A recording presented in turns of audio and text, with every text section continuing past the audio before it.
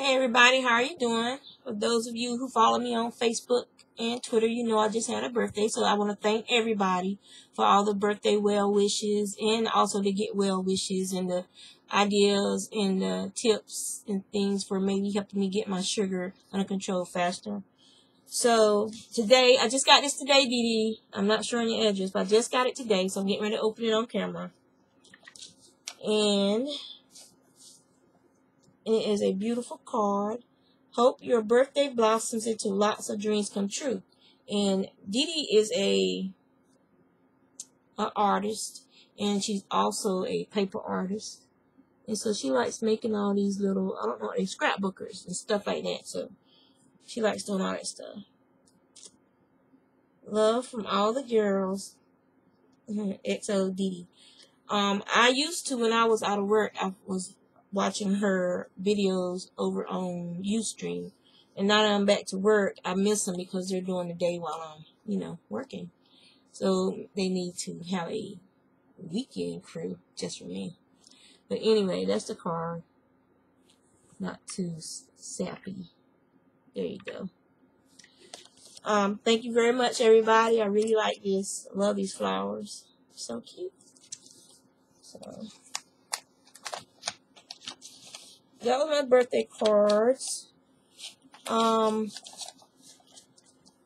my husband made me a bowl cake, which I only have like a little teeny bit. Uh, it was like, let me see. I don't think I have it. Okay. I don't have anything that size in here. So, well, actually, yeah. See the, the whorl on this spindle? So, imagine a bowl about as tall as this spindle is and about the same size. That's how much cake I was able to eat. That little teeny bit, and that's all I've had of the birthday bowl cake that he made, and it was chocolate, which is my favorite, with roasted um walnuts on it and pudding and stuff. So I, it was really good, and it was sad because I could only have that little teeny bit, and he didn't even want to give me that.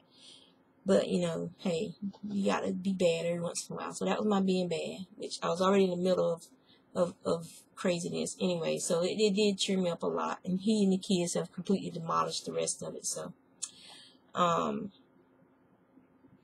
and so yeah, that was my birthday. Um, I also got so I did this video. I thought I wanted to show y'all yet.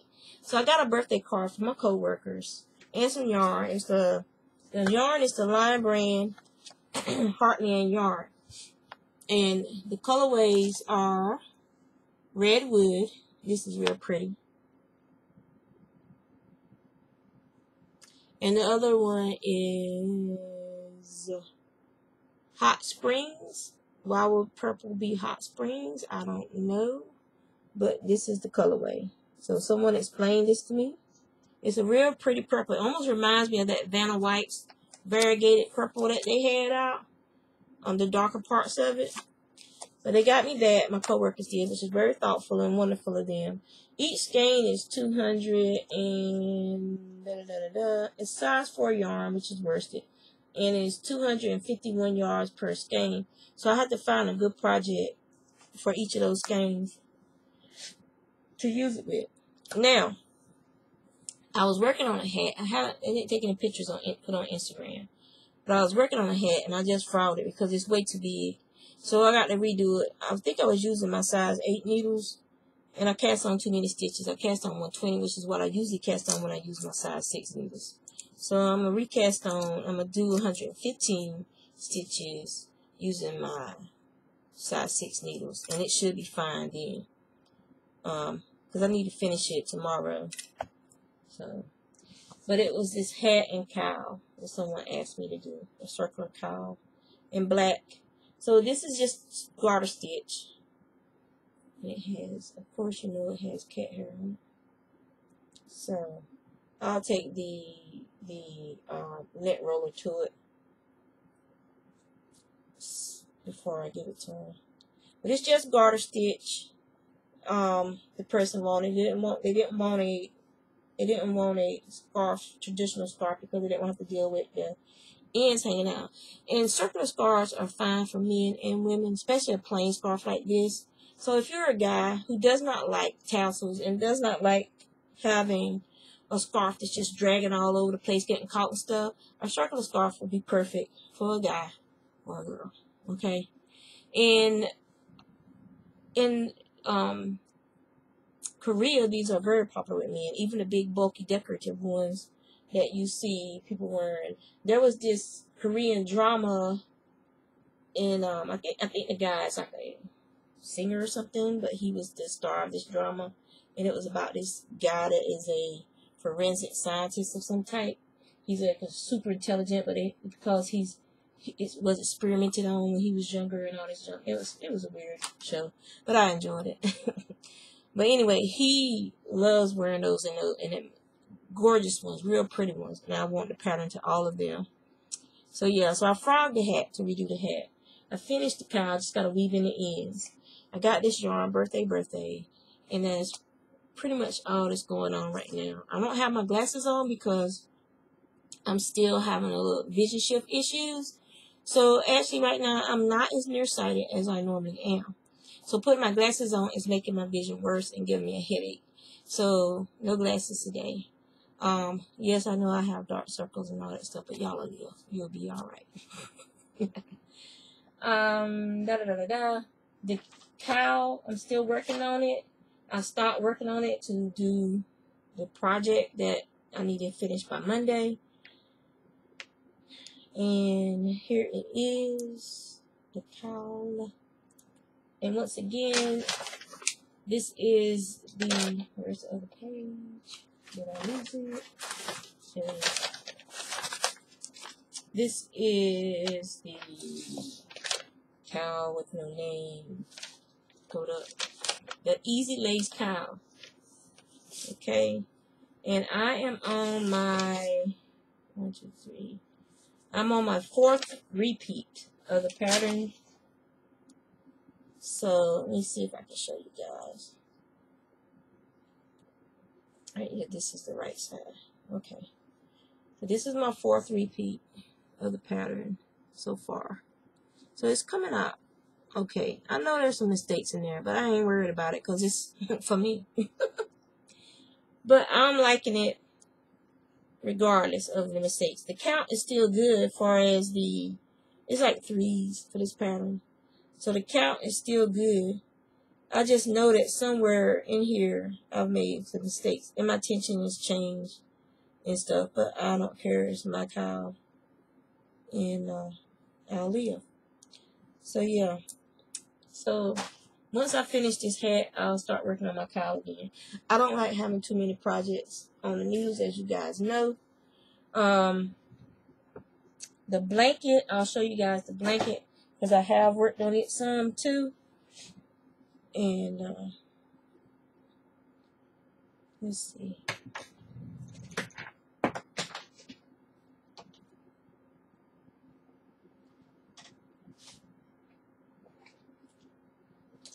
Drop my hook. Yes, I went off camera. Y'all will be okay. You know, things happen. People need to go off camera. I mean, if you get motion sickness that bad, you shouldn't be leaving your house, much less watching videos. But this is a blanket. Let me see. All right. This is the blanket so far. Okay. So it's getting there. This is um almost two skeins of the Caron um yarn, the big uh the nine dollar big nine dollar balls of it.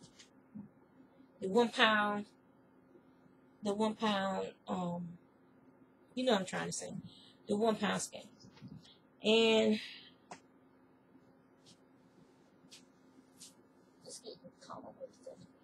Lord help All right, so that's how much I've gotten done with the the blanket for I believe his name is Dwayne or Daryl. I know it's my see my husband's brother is he has a brother named Dwayne, he has a brother named Daryl, and the young man he has the same name as one of my husband's brothers. I just always forget which one he has a name similar to. And I've lost more weight, so you guys can see. I've lost a lot of weight since I first started doing videos. Nothing I can do about these bad boys, but everything else is shrinking. so, yeah, so that's that. Uh, I, I wish they would shrink more than the rest of me. It's like my lower half is shrinking real good, but these are just like not moving. Like you can see it like in my shoulders and stuff. So I'm getting there, which you know. So we went. I have someone. There's someone at work that's pregnant, and they want a baby blanket, and they wanted pink, and I was like, look, I'm sick of pink. Can you choose another color? Please, please choose another color. I mean, you know, I like a little extra something on the side. You know that side, what they call it, side hustle, your side hustle. But I'm sick to death of pink. People, let me explain something to y'all about girls. Most girls do not like pink you have those girly girly girls who want to be girly girly girls and they really don't like pink either, but they it's expected of them to like pink. So they lie and say they like pink, when in reality they probably love dark blues and teals and things of that nature. Don't force your society's preferences on your child. Be different. Choose different colors. Because I'm sick to death of pink. That being said, we got this was the Craft Smart at Michael's, and it has pinks, blues, lavenders, purples, and it's really pretty. And I like it. And I'm gonna do like the little hand thing so the baby can't scratch their face up. I'm gonna do that, and the little booties in the hat in this color. I'm gonna do the blanket in this and white, which I have some over there somewhere. So this will be white the blanket will be in this and white. I haven't picked the pattern for it yet. I'm thinking about trying to do, I'm thinking about doing a ripple. No, a cocoon. I'm going to do a cocoon. I'll probably knit it then and do like a table up the center or something. I don't know. And then I got some dark green because my brother-in-law, I made a scarf for him. I don't remember making the scarf. So God knows when I made it and gave it to him because I don't even remember making it. He says I made a scarf. but he wants a hat to match. Now, if you remember a couple years back, Red Heart had a dark green yarn that was darker than their regular uh, hunter green. They had one that was darker than the hunter green, and I think it was called evergreen or forest. It was it was a lot darker than this, and I haven't seen it for a long time. Um, so he wanted a hat to match his scarf. He's gonna have to get what he's gonna have to get, which will be red, this green, and black, which is the color of the scarf he has. Um, you know, if they don't make the yarn, they don't make the yarn. You guys know how much I crochet and knit. Um, I go through, especially for the stuff that I do for um, Airmark Foundation. So I go through a lot of yarn during the year, making deals for people, doing my pay it forward, uh, you know, things of that nature. So I go through a lot of yarn every year. My thing is this though, when people place orders, they never freaking ask for stuff in colors that I already have. It, I'm like, how do, it's like they got this psychic vibe. Does anybody else go through that? Somebody requests something and you only have like a, a little teeny scrap left of that color or you don't have that color at all because I'm not one for buying. I love naturals and, grays, browns, um, you know, some blacks, whites, creams. I love natural colored fibers. So I would I gravitate towards towards those when I get yarn for my stash. Now, so I have to go out almost every order and purchase the yarn I need for that order. So that leads me to um I have a bag of husband. Coffee. Did you wave at everybody? I waved. Say hello. Hello. So I have a bag of scraps somewhere over there. Last time I sent all my scraps to Jen because she was working on a scrap blanket. I need to contact her and see if she wants if she's still working on that blanket because I could send those scraps to her too. Um, some of the scraps I'm gonna use to make those little hand things keep babies from scratching their face up.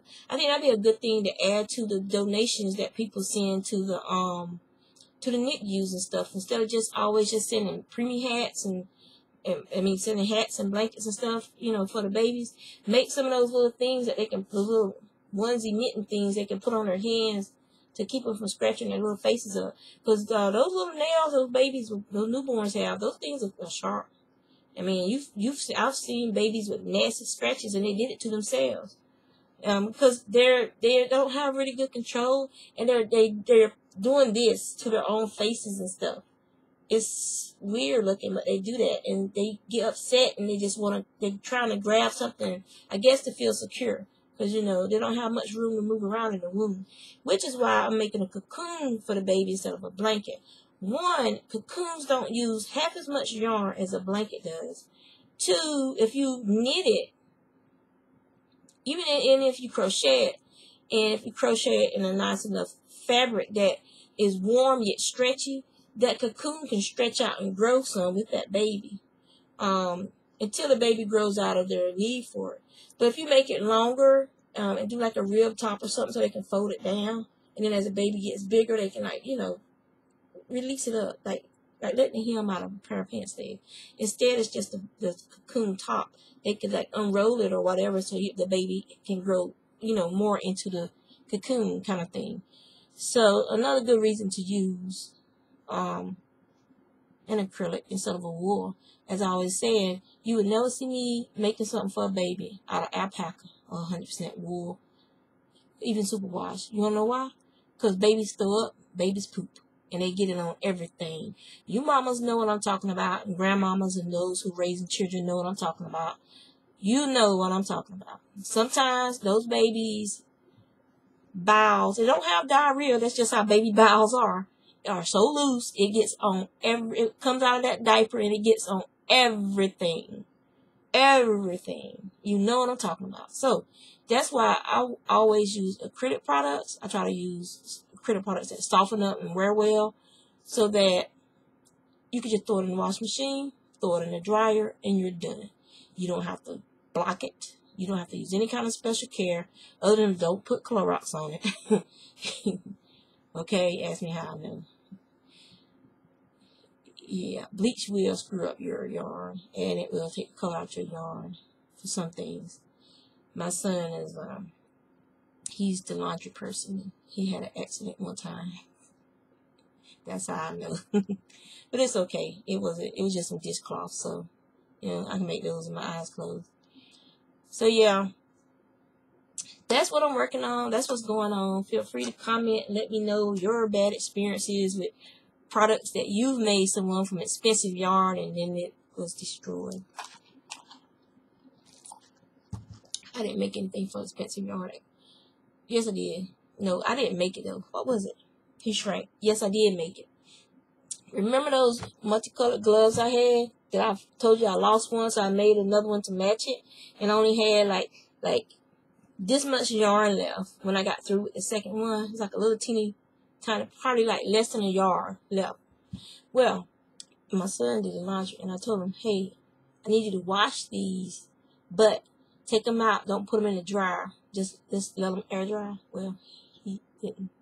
And then I got, you guys know I got these super big hands and so I could not wear my gloves no more. yeah, so I gotta make me some more famous gloves and, and think talking about fingerless gloves, I'm gonna make me another pair of World of Warcraft fingerless gloves. I'm gonna make my husband another pair of socks. Speaking of hey yo, you, you over there? You need to pick out the yarn for your socks. So yeah, so I'm gonna make him another pair. I'm making him another pair of socks. He has to pick out the yarn for it. So that's what's going on in my household. That's what's going on with me. Haven't done any spinning, but now that the weather is hopefully going to be changing for spring.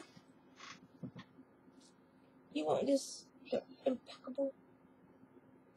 This is the yarn for his next pair of socks. He picked out my favorite one that I'm going to make something for myself with. You make me sick. It's okay. He's doing his little stank dance. okay. So, This is impeccable. The color is earth. This colorway is my favorite, favorite, favorite, favorite, favorite, favorite, favorite, favorite loops and threads colorway. Now that blue, I mean, I like this a lot too. But this is my absolute favorite. So, when they were having that sale, and I saw that they had the big one, bam, I got it. This, I think, was 800 yards, was it? 600 yards, where was it? Where's the yardage? 14 ounce ball. says it's a 14 ounce ball. 582 yards. Alright. This little one is 192 yards. So I got two of the little ones. And, oh, don't fall down, ladies. And the big one they have another sale, I'm gonna get some more of that colorway because I, I want to make something for me in that colorway. I want to make one of those. I have the pattern for that cowl Margaret made. I mean shawl, not shawl. Well, it's it's like a it's like a shawl, but you put the sleeves on it. And Margaret made one. I had the pattern for that, and I've never made anything out of it. So yeah. So I'm gonna let you guys go because I really don't have nothing else to talk about. Someone asked me to do a tutorial, not tutorial, but a product review for the um, Heavenly Hand Spinning Vesper over on Instagram. Um, I've talked about the Vesper before in some of my older videos, so it is. Uh, come here, Mushi. This is Mushi. I know you guys remember when she was a kitten. Because she like crawling all over me. Say hello, Mushi. You to look at people? She smelled my breath. Because you know how it is with diabetes. Cats and dogs tend to gravitate towards your face when you're when you're putting out some ketones. She she whips her tail when she's frustrated. She'll whip it around and she'll thump you with it and stuff. Okay, shoot, shoot. How'd you get in? Okay. Anyway, Mushi is not a hugger. She's so bossy and so dominant. It's like, you know, pet me. Okay, I'm done with you. Let me out. Okay, I came in. She doesn't like having doors shut.